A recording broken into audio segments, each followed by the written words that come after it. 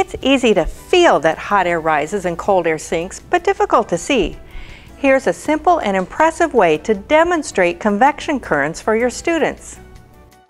Place a birthday candle in a small piece of clay in a weighing dish and add a small amount of water to cover the bottom of the dish. Light the candle and place a clear mailing tube over the candle.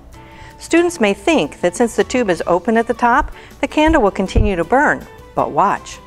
The warm gas rises from the candle flame and prevents any outside air from reaching the candle. The oxygen supply runs out, extinguishing the flame. Now relight the candle and place this foil-covered divider in the tube. The candle keeps burning brightly. If you feel the air on either side of the divider, you notice that the warm air is exiting the cylinder on one side only. Cooler air then enters the tube on the other side, creating a convection current that replenishes the oxygen, allowing combustion to continue.